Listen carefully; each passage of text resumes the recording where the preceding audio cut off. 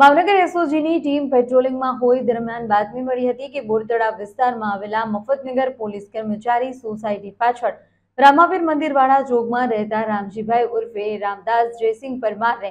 પોતાના ઘરમાં ફળિયામાં આવેલા વાડામાં ગાંજાનું વાવેતર કર્યું છે જે માહિતી આધારે પોલીસે રેડ કરતા એક લાખ ઓગણીસ હજાર છસોની કિંમતના ગાંજાના લીલા છોડ ત્રેવીસ પોઈન્ટ નવસો વીસ કિલોગ્રામ મળી આવતા ગાંજાનું વાવેતર કરનાર રામજી ઉર્ફે રામદાસ વિરુદ્ધ ડી ડિવિઝન પોલીસ સ્ટેશનમાં નાર્કોટિક્સ એક્ટ હેઠળ ગુનો નોંધાવી